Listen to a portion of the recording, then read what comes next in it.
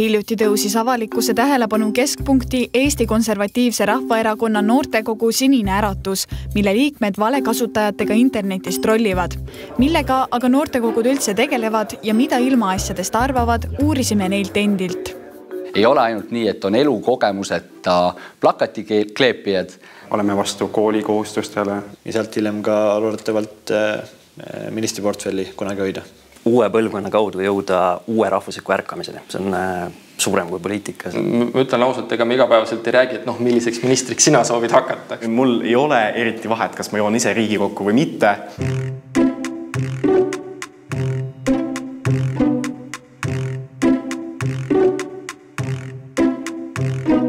see nii-öelda teine pensionisammas on hea näide sellest, kuidas riik noorelt inimeselt raha ära võtab on kahekümnes november, on algamas debatt pensionide teemal. äkki peaks kodanikupalga tööle panema? on, on targemaid kohti, kuhu raha panna areenile ei astu aga mitte Jürgen Ligi, Martin Helme, Jüri Ratas ega keegi teine tuntud rahvasaadik.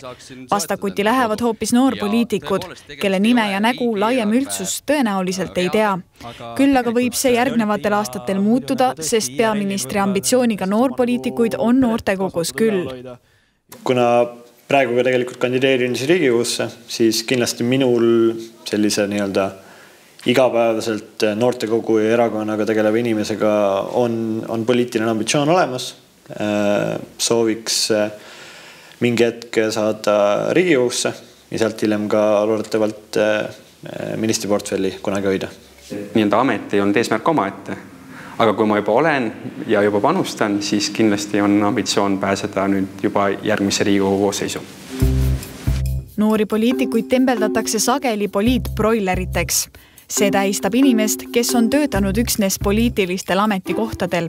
näiteks möödunud kevadel nimetas Kaarel Tarand Õpetajate Lehes noortekogudest sirgunud erakondlasi poliitikulaadseteks toodeteks. mõistagi noortekogulased ise nii ei arva ma olen vaadanud, kuidas ütleme näiteks noori poliitikuid või üldse poliitikuid kujutatakse ka äh, teatris või teles või kuskil mujal, et kõik on niisugused ühe puuga löödud libedikud, kes äh, kes tegelikult maailmavaadet ei oma ja, ja teevad kõike raha pärast. minu kogemus poliitikas ütleb, et äh, kui selline prototüüp on olemas, siis see on küll kaduvväike osa tegelikkusest. Äh. et äh, meid pekstakse võib-olla isegi rohkem, et poliitbroileri väljend ei ole tekkinud niisama. et see on kindlasti seotud nende inimestega, kes ongi poliitikasse tulnud ametikoha pärast. aga meie liikmed teavad väga hästi, et erakond ei ole töö, tööbüroo ma arvan, mingil määral on ka noored seda muidugi kaasa aidanud, et noh, vaatame siis äh, ühe Tallinna kesk, kesknoore tegevuse, kus äh, varastas linnalt raha ja käis selle eest, eks ju, klubides. ma arvan, see kindlasti aidanud kogu, kogu noorte, noortele poliitikutele kaasa ja samamoodi, mida teeb, eks ju, Sinine Äratus kogu selle trollimisega ja demokraatia õõnestamisega, et selline asi kindlasti ei anna meile mingil määral äh, head mainet neid, kes, kes on huvitatud poliitika tegemisest ja poliitika, poliitikuks hakkamisest ise rohkem, kas nemad äh, löövad ka rohkem erakonna tegemistes kaasa ja on neid, kes äh, on väga aktiivsed äh, noorteorganisatsioonis, aga tegelikkuses näevad oma elu kuskil mujal ette ja nende inimeste, kellel on mingid ambitsioonid, et ma ütlen ausalt, ega me igapäevaselt ei räägi, et noh, milliseks ministriks sina soovid hakata. on aga üks erand nimelt peab EKRE noorteühenduse Sinine Äratus esimees Ruuben Kaalep kõiki eelkõnelejaid ning üleüldse teiste erakondade noorliikmeid poliitbroileriteks ja karjääripoliitikuteks. sinises äratuses, nagu Kaalep rõhutab, on kõik inimesed ainult maailmavaatelistel põhjustel ma ei taha kellegi kohta isiklikult halvasti öelda, aga vaadates teiste erakondade noortekogusid, üldiselt sinna tulevad kokku Eesti kõige igavamad inimesed meie põlvkonnast. et äh, seal ongi inimesed, kes tõesti tahavad äh, saada karjääripoliitikuteks ja, äh, ja nende teemadega tegeleda terve elu. et äh, meie ei ole sellised, me ei taha seda. Kaalepi sõnul ei ole Sinine Äratus ka üldse mitte tavaline noortekogu, vaid hoopis noorte liikumine, mille eesmärk on suuremgi kui poliitika me ei tegele ainult sellise igapäevapoliitika küsimustega ja reaalpoliitikaga, vaid meil on noh, algusest peale tegelikult võetud äh, väga suur kompromissitu eesmärk äh, uue põlvkonna kaudu jõuda uue rahvusliku ärkamiseni. ja see tähendab, et see on selline kultuuriline ülesanne, mitte ainult ka, mitte ainult poliitiline. see on suurem kui poliitika, see selle valguses ei pillu Kaalep kriitikat aga ainult teiste noorpoliitikute, vaid ka teiste erakondade suunas. mis iganes, vaadake Keskerakonda, Reformi, sotse praegu, nende parteide eh, juhte, kes eh, puhtalt eh, arutavad mingisugust igavate eelarvepoliitika küsimuste üle, samal ajal kui meil on fundamentaalsed probleemid nagu Eesti rahvuse püsimajäämine sellel sajandil ehkki Kaalep vastandab Sinist Äratust jõudsalt teistele noortekogudele, siis erinevalt suurtest erakondadest ei pea noortekogud omavahel üldiselt verist võitlust. näiteks ka seesama debatt pensionite teemal kulgeb väljapeetult kedagi ei kutsuta kaagutajaks ega isamaaliseks seaks. ei, ma ei ole tõstnud tükk aega, ei ole hüpliku tarbimismaksud. sa jätad täiesti tähelepanuta soovi. Kadri, paluks. kuidas pehmendada neid maksutõuse neile inimestele, kes kõige rohkem kannatavad kui me võtame selle Foorumi saate või mingisuguse poliitikasaate, siis jah, seal käib niisugune äh, võidu, võidu karjumine mingil määral, aga esiteks ongi noorte seas meil on ju panused nendel debattidel palju väiksemad. see on totaalne vale. ei, ma segan vahele, sest sa valetad. ei ole vale. ja absoluutselt valetad. Teie lasite põhja selle, teie lasite põhja selle, et tõstetakse opositsiooni katuserahasid ja nüüd süüdistate meid selles, et me leppisime kokku, et me ikkagi neid katuserahasid juurde saame. ärge ajage jama. meil ei ole sellist nagu võimu, mille üle võidelda, vaid meil on äh, maailmavaatelised erinevused ja me arutleme nende üle ja ütleme, et ka enamasti meie äh, debatid on äh, natuke teise tonaalsusega kui, kui võib-olla erakondade omad. mina arvan, et äh, noored on niisugune hea äh, eeskuju tegelikult ka vanematele poliitikutele, kus me suudame äh, arutada teemasid väga rahulikult ja, mitte minna, ma ei tea, isiklikuks, vaid üritada nagu hoida niisugust konstruktiivset joont. Eesti kahesajast sai alles hiljuti erakond Läks vaid mõni nädal ja tekkis ka noortekogu.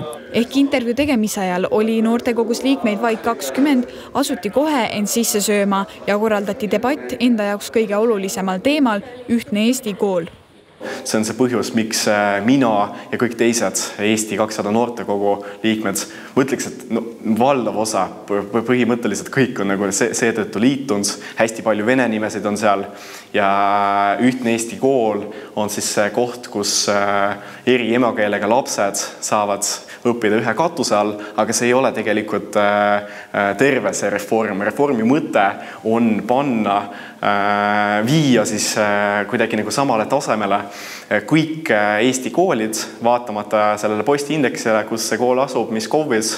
Ja et laias laastus see on koolide riigistamine, et siis riikliku koolivõrgustiku loomine. Ja meie tuli, tulihingeliselt, ausalt öeldes tulihingeliselt pooldame seda ehkki ühtne Eesti kool on ka erakonna Eesti kakssada suur teema ja valimisprogrammis sees, siis ajalooliselt kauem tegutsenud noortekogudel on Eesti elu paremaks muutmiseks palju ka selliseid julgeid ja ambitsioonikaid ideid, millega erakond veel kaasa ei tule. näiteks selline kaheksatunnine tööpäev ja viiepäevane töönädal on, on juba pea sada aastat olnud standardiks et siis eh, ehk oleks aeg praeguste uute tehnoloogiate ja, ja võib-olla ka natukene muutunud tööturu situatsioonis hakata seda ümber vaatama. meie, meie ettepanek oli, et see võiks olla neljapäevane töönädal. et me oleme vastu kooli kohustustele, alushariduse kohustusele, sest me leiame, et inimene ise otsustab ja sama on ka selle nii-öelda pensionireformi ideega muuta teine sammas vabatahtlikuks. liberaalse maailmavaatega tegelikult vaatame, et kuna tööturg on nii palju muutumas, et äkki ei peakski enam töötamist üldse maksustama, et ainult tarbimist maksustama, sest eh, noh, ka noorte jaoks on väga tähtis keskkond ja et teada, mida sa nii-öelda ostad ja mida sa tarbid, siis kui see on kõrgemini maksustatud, siis noh, siis sa ka võib-olla ostad nagu asju, mis on ka keskkonnale parem me räägime näiteks noortele suunatud ideedest, siis üks idee, millega me oleme välja tulnud jõulisemalt, on see KredExi meetme laiendamine, kuidas siis noored saaksid soetada oma kodu äh, tänasest äh, siis soodsamalt, sest äh, tean isiklikult enda sõprusringkonnas ei ole väga lihtne säästa nii palju siin võib-olla Tallinna elu kõrvalt, et endale isiklikku kodu soetada. et siinkohal peakski tulema appi riik äh, läbi KredExi, kes siis äh, võimaldab selle, et meil oleks null sissemaksega noortel võimalik saada, noortel peredel siinkohal siis oleks võimalik saada oma elukohta et mõned ideed on teinekord liialt lennukad ja seetõttu erakonna laua taga laiemat kõlapinda ei leia, pole noorpoliitikute jaoks morjendav näiteks räägivad noortekogulased, et kuna noortekogud ei pea lähtuma päevapoliitikast ja koalitsioonipartneritest, siis on neil võimalus arvata vabamalt kui erakonnal. näiteks noorsotsid ütlevad, et nii saavad nad aidata erakonnal hoida maailmavaatelist kompassi mõningad ideed on, on, on meil sellised, millega me oleme üpriski ühte meelt, on neid ideid, kus tundub, et erakond veel ei ole valmis selleks aga ma arvan, et see on äh, ka see koht, kus äh, tõesti äh, noored sotsiaaldemokraadid saavad natuke suuremalt unistada. et erakond paraku peab rohkem ja rohkem vaatama väga täpselt, et palju see järgmisel aastal maksma läheb. tervist, kas sooja jooki võib pakkuda hommikul? selline soe mustast nagu arst. valima lähete? aga võin siis äkki ka kandidaadi pakkuda, mina ise. noh, ilusat päeva teile tere, proua, kas te valima lähete? kuidas? me Isamaa erakond kutsub valima. ja aitäh, aitäh. tervist. Isamaa teeb kampaaniat. meil tuli täna värske ajakiri välja, just trükis, taga on ristsõna ja mina olen Karl-Sander Kase, esimest korda kandideerin. ma annaks selle teile kaasulgamiseks. Ja kui te poodi lähete, siis äkki üks väike poekott ka. meil on värske ajakiri. jah. äkki üks pastakas ka, mis seda kõike koos hoiab. tervist, kas tohib segada korraks? Isamaa kutsub valima olgu nii kenatud. kas te lähete valimistele, kolmas märts? selge, lähen, jaa. nii, aga kas olete kuulnud uuest erakonnast Eesti kakssada? ei. Pole mitte midagi kuulnud? okei aga võtke siis Voldik taastoodetud Power, et see ei ole niisama, see on Ökom ja Helkurit võib-olla ka. kõik head. seal on meie ametid ka sees uh, -huh. et äh, päris inimesed ja päris elust, erasektorist ma ei tea, võib-olla soovite Helkurit ka? annan kaasa. ei soovi, Helkurit ei soovi, aga lugege, minge valima kindlasti. tere. Kõik siin loos rääkinud noorpoliitikud kandideerivad sel aastal ka Riigikokku nii Reforminoorte, noorsotside kui ka Res Publica juhtivnoored kandideerivad koguni samas piirkonnas, mistõttu saavad noorpoliitikud omavahel tõsiselt mõõtu võtta. kindlasti pääseb aga Riigikokku Sinise Äratuse esimees Ruuben Kaalep, kes on teistega võrreldes nimekirjas kõige kõrgemal kohal, piirkonnas teine ja üldnimekirjas kümnes ka Jaan Männikul Keskerakonnast on suurem võimalus rahvasaadikuks pääseda, sest piirkonnas on ta neljandal kohal ja üldnimekirjas kaheteistkümnendal kohal üks eesmärk on aga kõigil noortekogudel ühine, tõmmata noori poliitikas osalema ja ma ei taha näha kõiki noori nagu Eesti kakssada erakonnas või noortekogus. mulle sobib, kui nad on, ma ei tea, Reformi erakonnas või ma ei tea, mis iganes kesk, kasvõi EKRE, sotsid, et kõik on teretulnud, et peaasi on see, et nad on poliitiliselt aktiivsed. poliitika mõjutab meid kõiki, et isegi kui, kui äh, mina ei oleks huvitatud poliitikast, siis need otsused lõppkokkuvõttes mu elu mõjutavad, kas ma tunnen neid kohe praegu, täna või mitte, aga, aga üks hetk need otsused mõjutavad ka mind nii, nii kogu elukäiku kui, kui kõike seda, mis valikud mu ees on. kui, kui sina ei tule siis tema tuleb ja tema tuleb. Ja siis otsustavad nemad. Ja otsustavad nii, nagu see nende jaoks on äh, parem või mida nemad paremaks arvavad. asjalikke noori inimesi on maailmas küll ja veel, et ei ole nii, et kui noor inimene on mingisuguse omavalitsuse noortevolikogu liige, siis ta on hinnatud ja aktiivne ühiskonnaliige ja kui ta astub äkitselt mõnda äh, poliitilisse noorteorganisatsiooni, siis ta on kohe ajupestud äh, pastakajagaja, et see on seesama inimene, äh, ta tahab ühiskonnas aktiivselt kaasa lüüa, poliitikas kaasa lüüa, et äh, räägime sisust ja küll see asi paraneb ka vaikselt. Kellest aga saab järgmine Taavi Rõivas, Jevgeni Ossinovski või hoopis Edgar Savisaar, näitavad tulevased aastad. seni aga korraldavad noortekogulased edasi oma debatte, mälumänge ja nii esinemis- kui ka muid koolitusi, mis tulevases poliitilises elus kindlasti vajalikud on